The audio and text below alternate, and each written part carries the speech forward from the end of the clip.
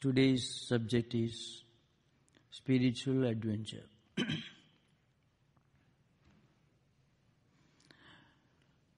now, sometimes it may not strike us very clearly the connection between a spirit of adventure and spiritual life because most people turn to spiritual life as a solution to the problems in this world. There are different ways of turning to spirituality by choice, by deliberate thinking,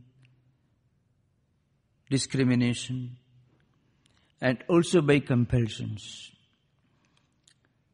These are some of the uh, situations which which force us to turn to spiritual life. Choice. To make a choice, we need certain compelling situations. So that also is a kind of compulsion. But there is a difference.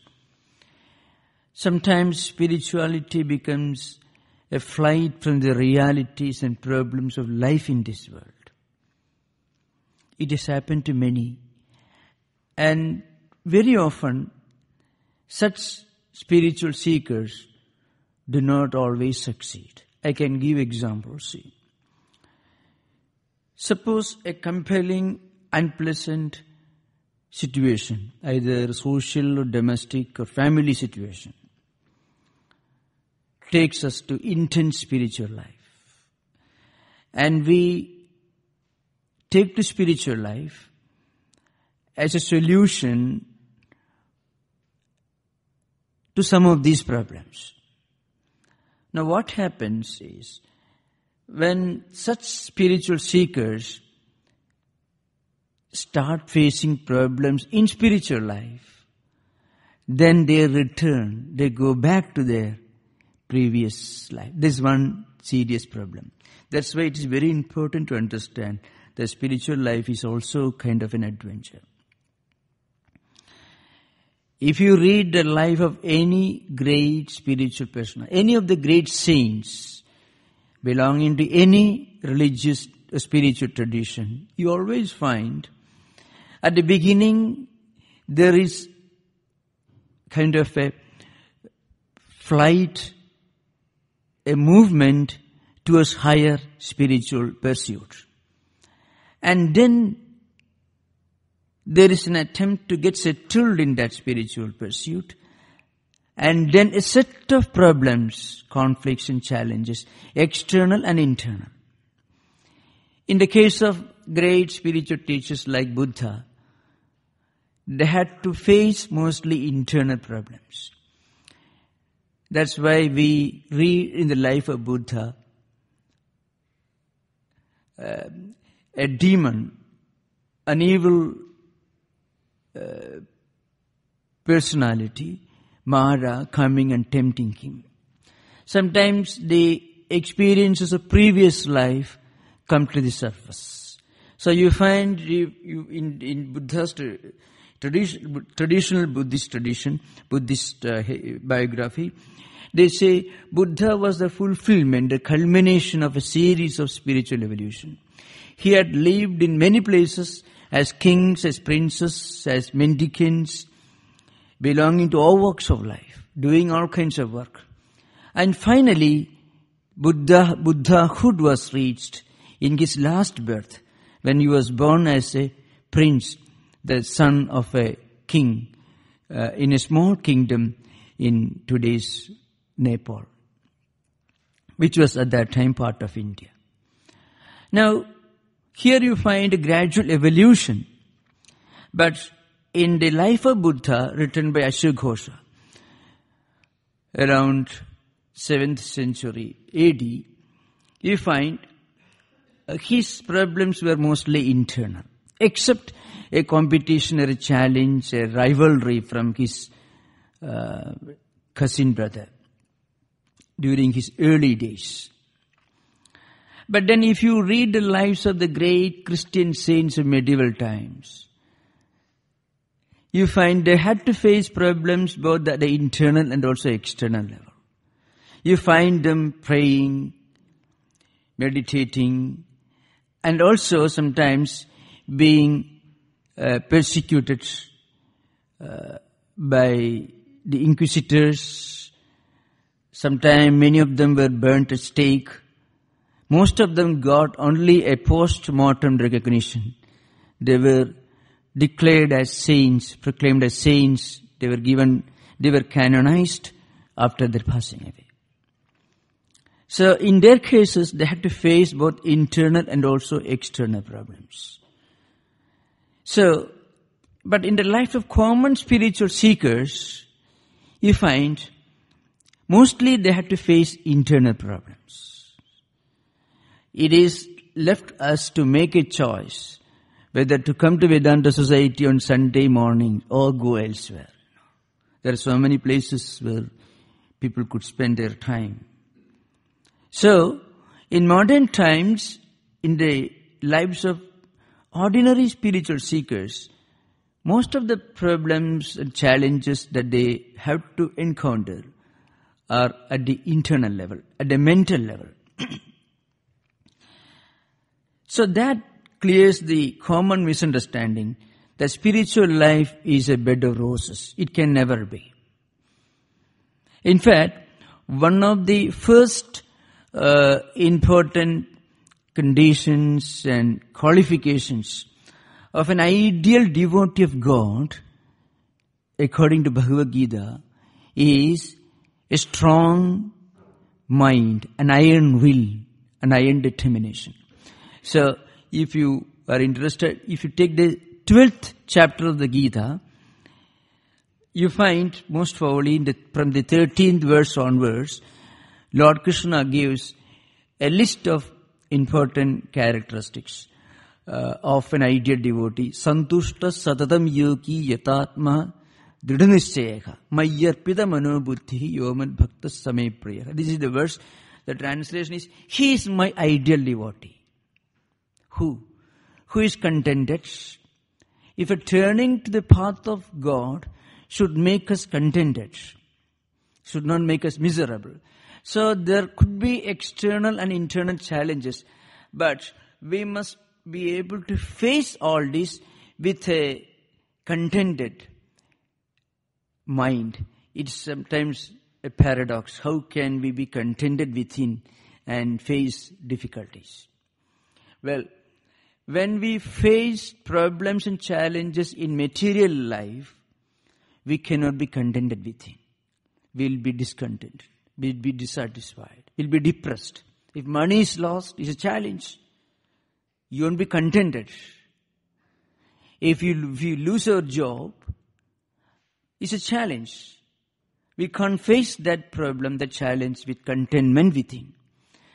But when one makes a choice, and very important choice in his or her life, to turn to the path of God, that very I, that very experience of choosing a higher goal in spiritual life should give us an air of contentment. It is not satisfaction in his worldly sense, but an inner contentment. Well, I have chosen a path which is the best, which may be full of thorns, problems, and difficulties. Still, this is the path which I have chosen. The very idea of choosing the path gives us an inner satisfaction. That is the inner contentment that is meant. So Lord Krishna says, if a spiritual seeker is found to be miserable, unhappy, really unhappy, he is not a genuine spiritual seeker. You should not misunderstand. It doesn't mean that every spiritual seeker gets all his dreams and expectations fulfilled. No, not at all. Far from it. The point is, in spite of problems and challenges facing in spiritual life, there is always an inner element of blissfulness, contentment within. And that contentment doesn't come out of achieving anything, but out of the feeling, well, I have made a noble choice. I have taken a decision to evolve to a higher level of spiritual life.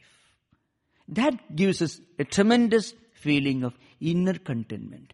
And Lord Krishna says this is the first hallmark, the first characteristic of an ideal devotee of God.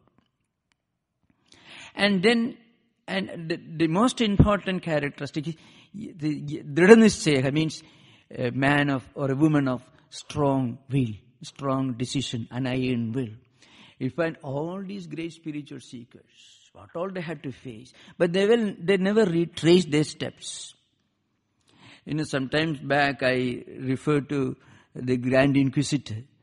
In fact, the Cardinal, who was the Inquisitor, he was making a point. Of course, he said, well, we made a pact with Satan and Satan gave you three choices trying to tempt the Jesus.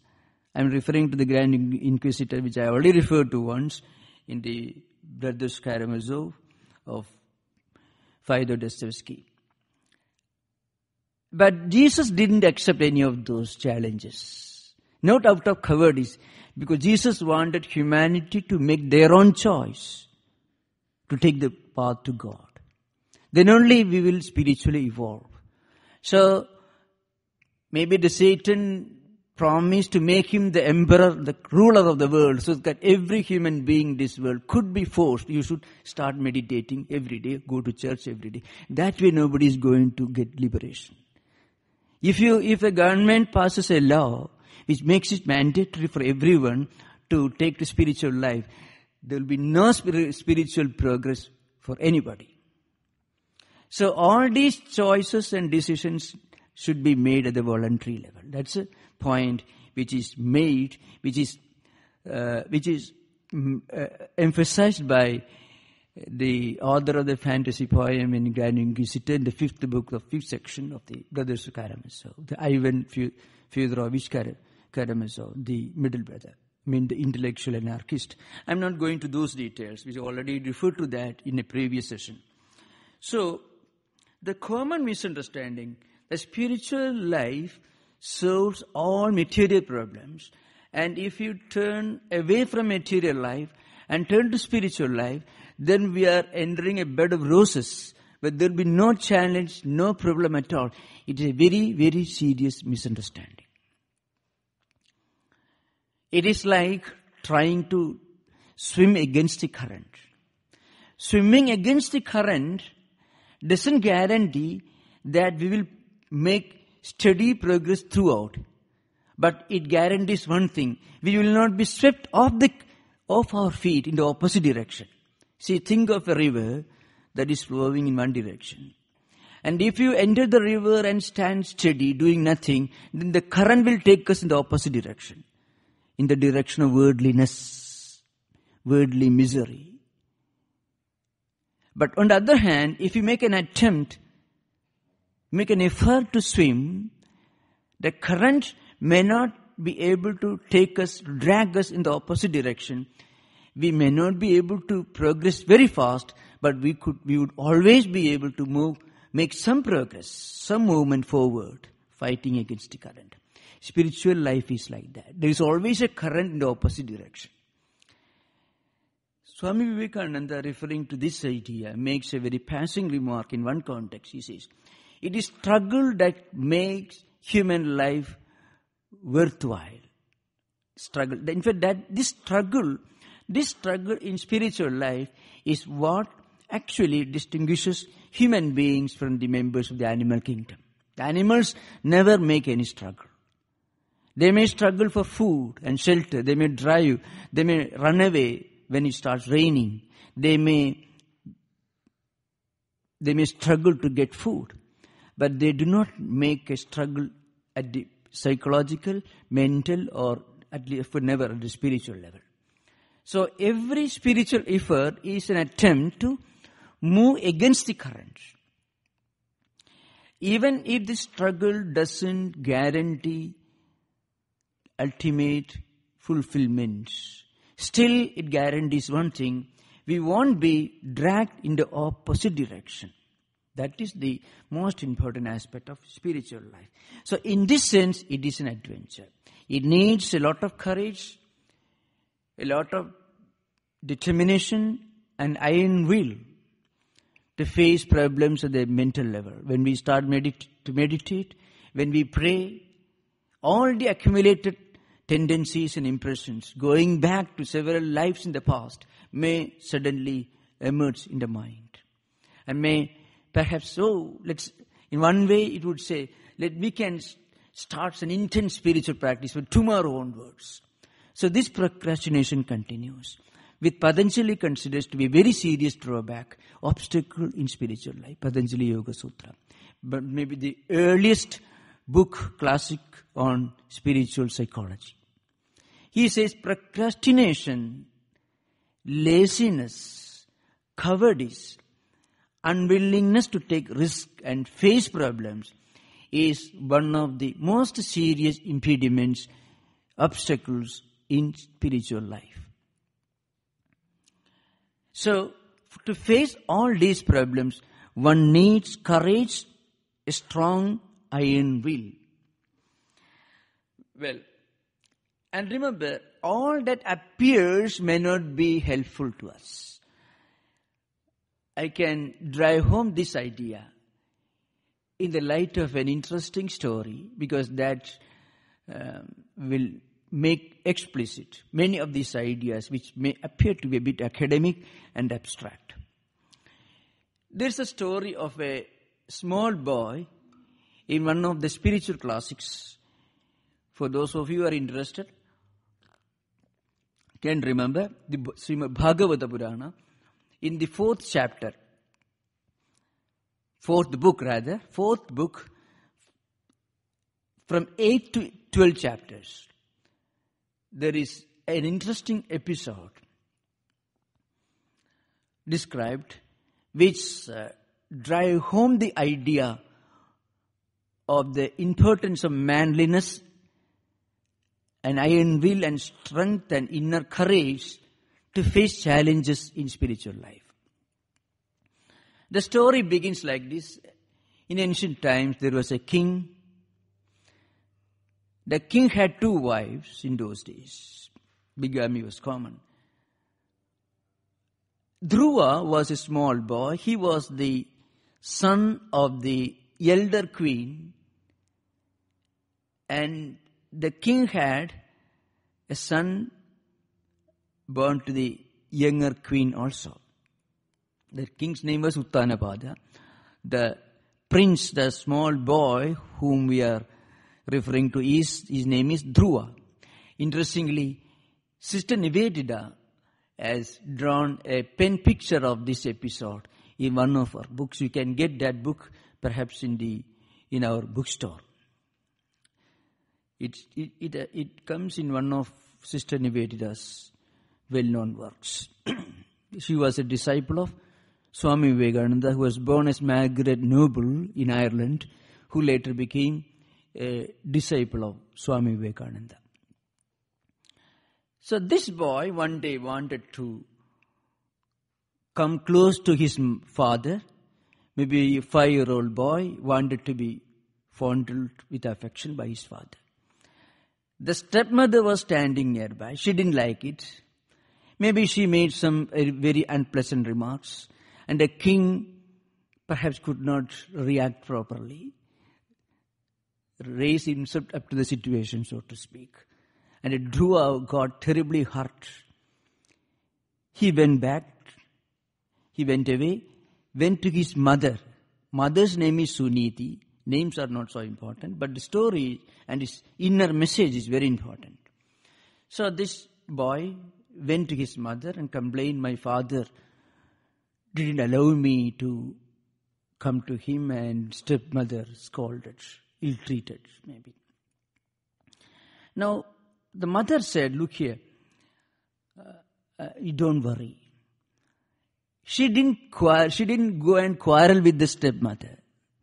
She didn't go and pick up a quarrel with the row with, with the husband either. What she did, all this happened because of your previous karmas. These things we have to face in life. Remember, and mother is telling a five-year-old boy, but the story is very important for the inner story behind. So, she said, she concluded her uh, uh, instructions. You turn to God. God is the one solution.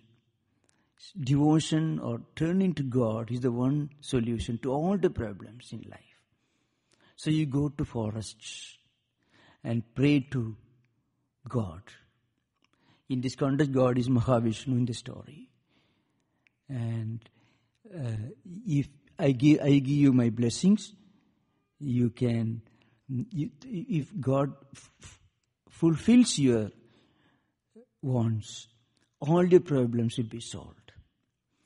Dhruva took it very seriously and went to the forest. Now, now uh, the important part of the episode opens. Dhruva was slowly walking in the forest. A great sage, Narada, was also wandering in the same forest. He was perhaps, he was meditating in the forest. Sometimes he will take a walk. Now, Narada is a well-known figure in these mythological books. His one main job was to seek out and find spiritual seekers who are in need of some help and go to them and help them and give them a helping hand, a direction, in the right direction, some instruction. That was his main job. That was Narada's main. He was a great sage of ancient times. So Narada found a small boy of five years walking alone in the forest, weeping and crying, and also taking the name of God loudly, loudly uttering the name of God. So Dhruva, Narada was both surprised and amused. So Narada came to this small boy. They said, look here, what's the matter? You are a small boy. Do you want me to take you back to your home? I can help you. Dhruva said, Dhruva, Dhruva narrated the whole incident, the whole episode, what happened in the palace, how he was almost insulted in the presence of his father, by his stepmother. So then Narada also tried to test this boy. Is he really fit? Is he ready, ready for this spiritual adventure? So Narada tried to test this boy. He, you are a small boy. I can take you to your home, to your palace. So he's a prince after all. And I can talk to your father, your stepmother, and others they will not trouble you anymore. And remember, these problems are natural. Sometimes we, are, we, we know, sometimes this could happen. A well-meaning friend could tell us, well, why should you go to meditate? These things are not necessary. If you tell them, well, I am facing a lot of internal conflicts, anxieties. So I want to read this holy book, maybe Bible, the Gospel of Sri Ramakrishna, Bhagavad Gita, any book. That's so I want to go and listen to some of the lectures on the spiritual topics. That gives me a lot of peace of mind. So that's why I'm going to Vedanta Society or any such spiritual place. Some friends may tell us, well, these problems are natural. Let's go to some other place. There are better places where you don't have to meditate and forget all this. There are many things that could you, that make you forget all problems. But then when the intoxicating effect is gone, all these problems will re-emerge with greater intensity, with more, with terrifying force. These, these things will not make us um, solve the problems, will not enable us to solve the problems, but may make us forget these problems, may benumb our senses and mind may reduce, may decrease the sensitivity of the mind to these problems, but once the effect is gone, these problems come back with terrifying force and we become addicted to these things. This is a problem. Now here Narada's intention was not that. Narada's intention was twofold. One, he wanted to see if this boy is really serious if he's just crying about in the for, walking in the forest, I should take him back to his home. But if he's really a spiritual seeker, then I should help him. That was his intention. So Narada came and look here, you don't worry. I will help you. Go back to your palace. Don't bother.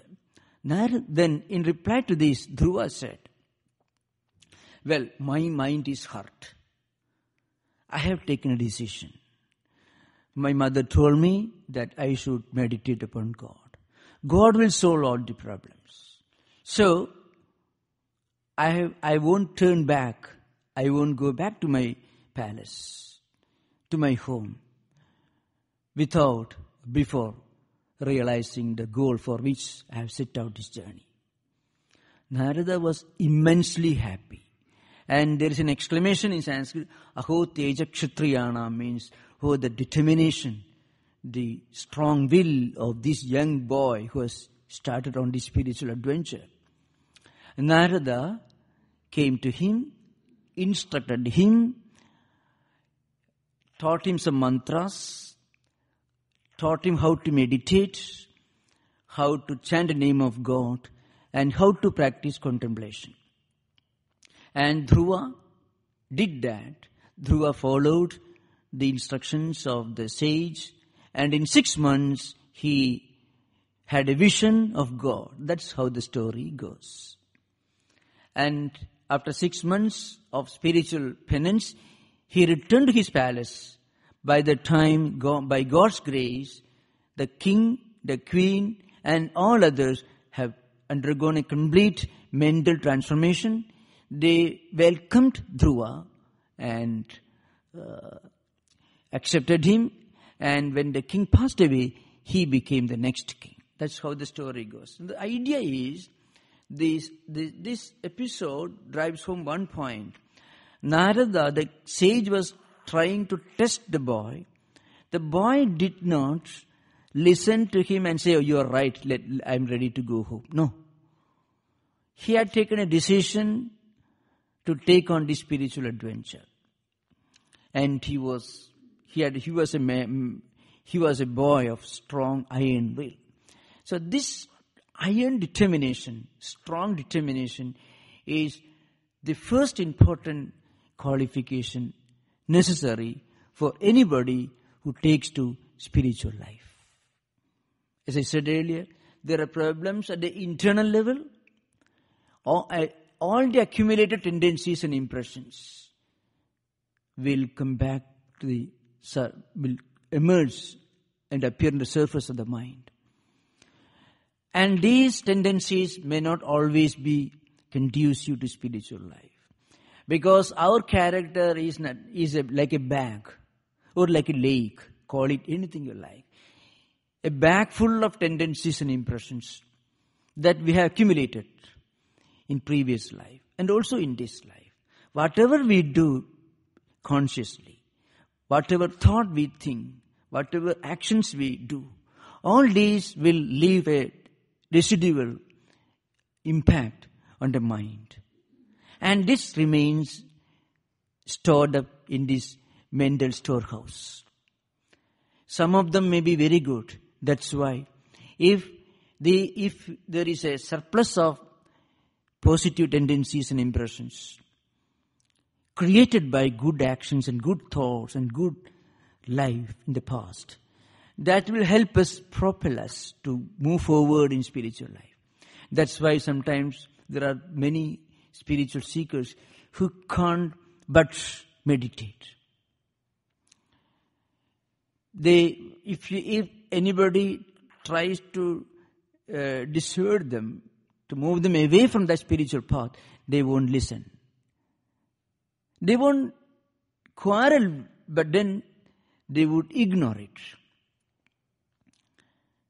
That's why in spiritual life, there is a great instruction in the same classic. How we must interact with, with our fellow human beings, with the external world, while facing problems, while undertaking the spiritual adventure. First, we must give up all negative thought currents and develop a positive thought current, a positive focus. If we can focus our energies and mind in one direction, the mind itself becomes a strong, mighty weapon that could be used for creative purposes, uh, like a knife in the hands of a surgeon. So, if we can develop evolve an inner focus towards which we can direct our time and energy. All our activities. That's one way to develop a spiritual personality that help us to take up the spiritual adventure with comparative ease. But then, if we do not make an effort to develop an inner focus, our energies may get scattered. In fact, that's the main reason for confusion and perplexities. What is confusion? Confusion is nothing but scattered energy resources. When the inner energy system gets scattered, mind also becomes highly uh, disintegrated. It not only uh, destroys the concentration and focus, but also it creates a lot of confusion and perplexities within. And that that that makes the mind blunt, incapable of going deeper into anything, and also uh, turns it into our enemy. A confused mind is a great enemy.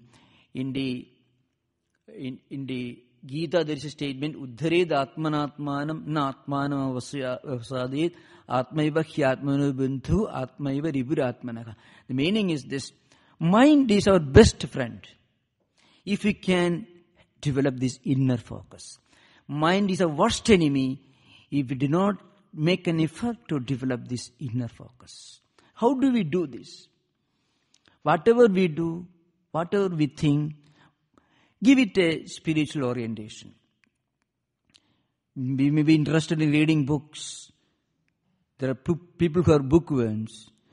There are people who are computer worms, if that term is acceptable. Well, the internet provides a lot of information on spiritual life. So make use of that skill and give it a spiritual orientation, God-word orientation. That way, all the activities all the so-called distractions become slowly focused. So distractions vanish, mind gets an inner focus. And if we want mental peace, the first requirement is to develop this inner focus. All the senses of perception and mind should be given a Godward orientation. Seeing, try to see good things, visual objects. Hear, hear good things. Sometimes, one, on one or two occasions, I had an opportunity to visit some of the old care homes, you know. So, sometimes you find old people who should be thinking of higher spiritual things, trans empirical values, spending hours watching Terminator 1, 2, 3, 4, mind you. And maybe within, within weeks, within months, they may leave this world behind. So, mind gets attuned to these things. So that's why our scriptures make a great declaration that all our activities our interactions with the external world should be given a Godward orientation. There's a famous verse in this classical work. I should quote this and then explain. Ishware tad adhineshu baliseshu prema maitri kripa upeksha yakkarodi samadhyamaka. The description of three types of devotees, the highest and the lowest. Who are the middle ones? Those devotees like ordinary common spiritual seekers whom constitute the majority of spiritual aspirants. What should be our approach? We should have devotion towards God by developing this inner spiritual focus, by giving a Godward spiritual orientation to the mind and also the five senses of perception and five senses of action. See, try to see things which are helpful in spiritual life. We, we, there's no way to hear. May we may not have enough time. So try to hear uh, at least once a while. Idea, I mean, listen to ideas which are helpful in spiritual life. And then, so devotion to God. And then a, a, a relationship based on equality and friendliness towards fellow spiritual seekers.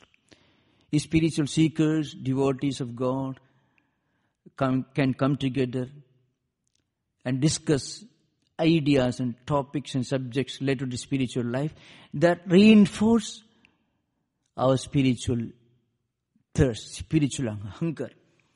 And it also helps us to give a spiritual orientation to a total personality.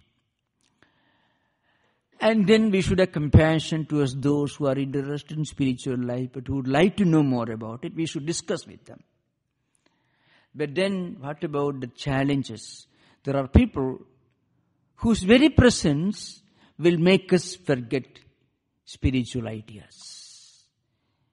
If you talk to them, if you interact with them, that very moment, everything other than spiritual ideas emerges in the mind. In fact, negative personalities are very powerful. Look at the mighty, look at a man like Hitler. What a man of strong determination he had. Much stronger than Dhruva's determination. So Hitler had a much stronger personality than many spiritual seekers, but and they were very they had tremendous persuasive power. So sometimes people with negative ideas, with evil ideas, with totally unspiritual ideas, have tremendous power to persuade, to influence our mind. At that time, we have to evolve an inner spiritual mechanism, a kind of spiritual filtering, filtering mechanism, a kind of inner reflex action, the ability to move away, to turn away from people who talk about uh, negative ideas, who are full of negative, negative uh, frequencies, negative temperaments, from whom we can only expect negative or harmful, spiritually harmful ideas.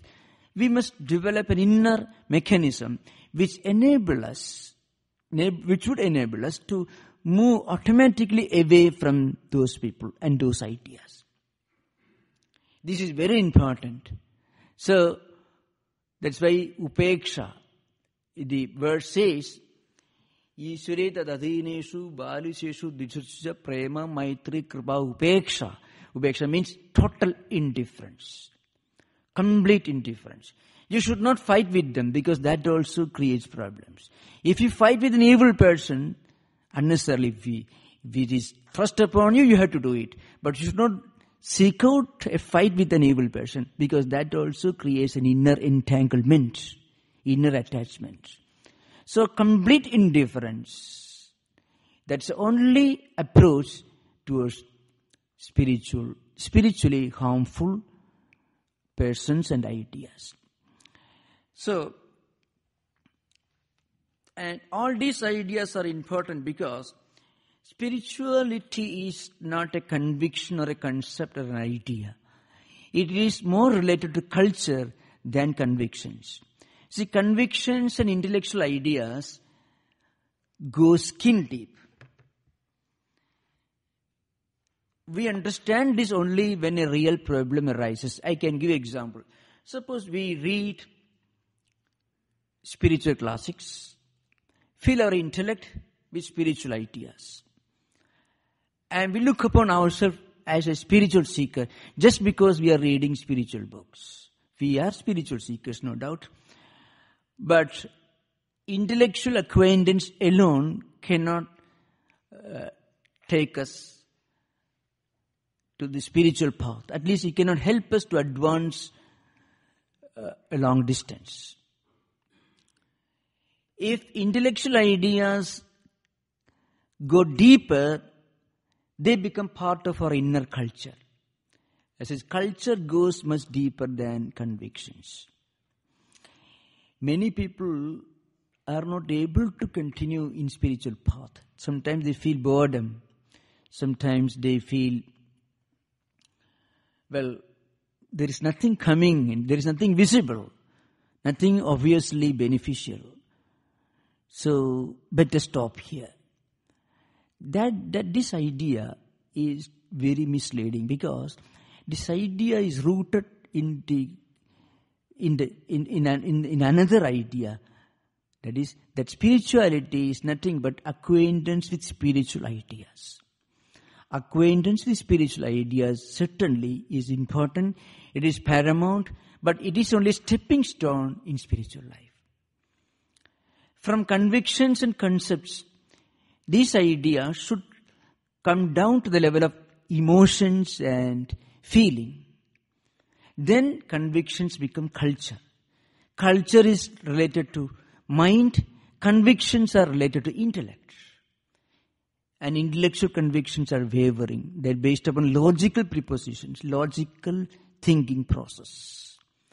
If you're convinced of certain things, then if you're sincerely convinced, then that conviction goes beyond logical uh, feasibility it becomes an emotional content. It becomes emotional feeling. That's why Swami Vivekananda makes an interesting remark, a very astounding remark. It, this kind of interpretation is necessary to fully understand the implication. One is good because he, he can't help being good. One is bad because he can't help being bad. Now, what do you make out of it? There are people who cannot do anything evil deliberately. Not because, not just because they're convinced of the evil of doing evil things, but because the practice of never doing anything evil has become part of inner culture. So it has come down to the mental level, which is far beyond the intellectual level. And then the same is true in the other direction also. So, what is needed is to bring the spiritual ideas from the level of convictions and concepts to the level of inner feeling and emotions. Then we understand spirituality is not a matter of intellectual conviction or philosophization. It is a matter of inner experience. And once we could develop a spiritual culture within us, a spiritual character within us, a spiritual, emotional nature. If our feelings get a spiritual orientation, then we are on the, on the right track to a spiritual experience. It is experience that makes us spiritual. It is not religious convictions. That's why it's often emphasized that spirituality goes beyond religions. Religion is a matter of dogmas and doctrines and belief systems and rituals which may not go very deep, which are certainly good, which are helpful, at least in the long run, we will get the benefit, but that is only a stepping stone. Spirituality is a matter of inner experience. Uh, here, at least, I mean, these ideas are interpreted from different angles in devotional philosophy, there is a gradual evolution from self-reliance to self-surrender. As I said, a strong will, an iron determination are necessary for a spiritual seeker, which is related to the idea of self-reliance. We must have strong faith, what we call manliness or womanliness now modern times. We have to use it that. We have a strong confidence, self-reliance to start this spiritual journey. Self-reliance. So at the end of self-reliance, we culminate with self-surrender.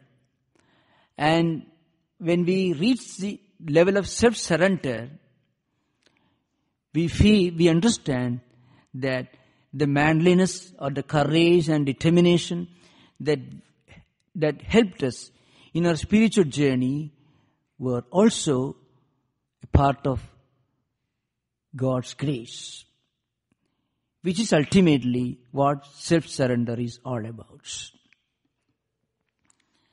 So that's why Shankaracharya wrote in a famous book, The name of the book is Vishnu Shatpadi. It's a famous uh, devotional hymn by Shankaracharya. Bhagamenath tavaham na mamakeenastum samudropi tarangha na kwajana samudra tarangha. The meaning is this. See,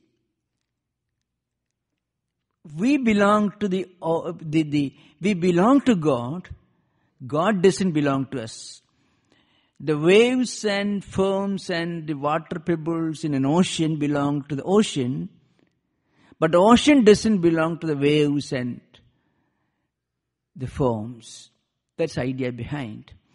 So the, at the end of this devotional fulfillment, we realize that we belong to God, God doesn't belong to us. But this is the penultimate state of the highest devotee. When the devotee goes still beyond that, he realizes that God is within him and he is within God.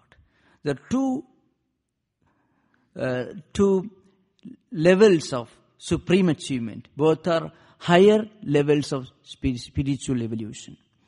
One is we feel that we belong to God, that but God doesn't belong to us in the sense that God is not exhausted by individual beings. At a higher level, we feel that we live in God and God lives within us.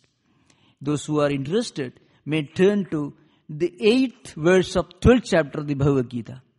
Eighth verse, 12th chapter.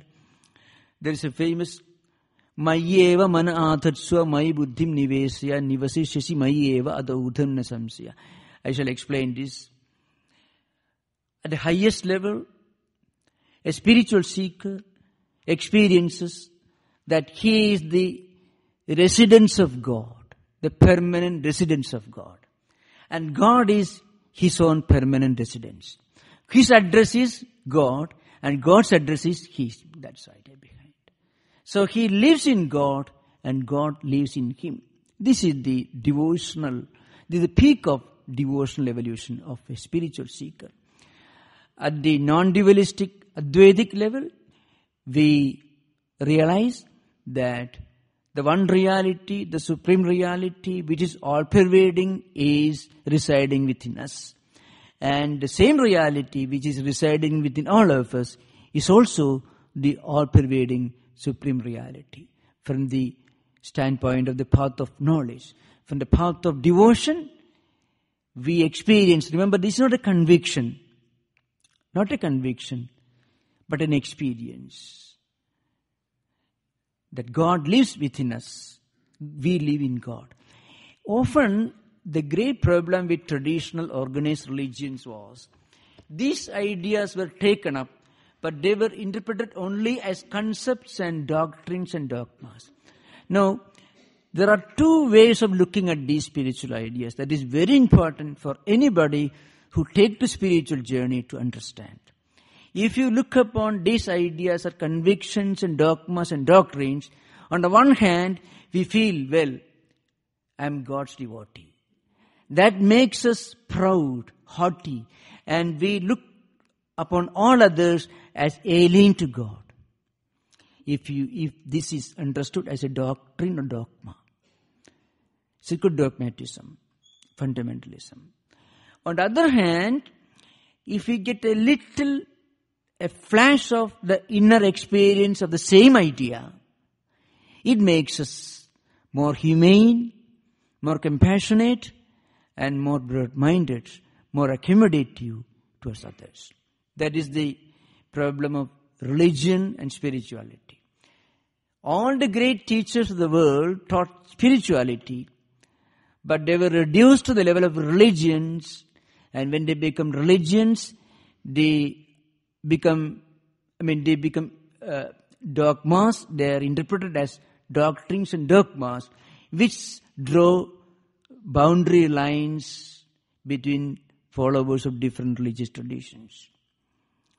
The same ideas, for example, the ideas that you find the Sermon on the Mount, if you look, if you interpret them as ideas and concepts, well, you can draw lines of demarcation between geographical, cultural, and uh, ethic boundaries. If you interpret them as spiritual ideas, they are universal spiritual truths. That is the important point to understand in spiritual adventure. Swami Vivekananda again made an interesting statement in the Inspired Talks, which he gave in the in Thousand Island Park. This he says, if somebody tells you that he's inspired and talks nonsense, reject him. That's the meaning. Now, suppose somebody tells, well, I'm highly inspired. I've seen God. So I hate all others except my own people. Then you, you, you don't want him or his God. That's why Swamiji says. So true inspiration makes us more humane.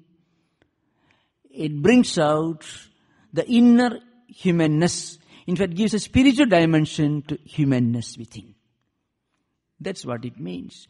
So, uh, spirit, true spiritual adventure is a journey to this inner experience, leaving behind the realms of convictions and ideas and philosophies towards experience. Om Shanti Shanti Shanti Hari Om Tat Sat श्यामकृष्णार्पणमस्तु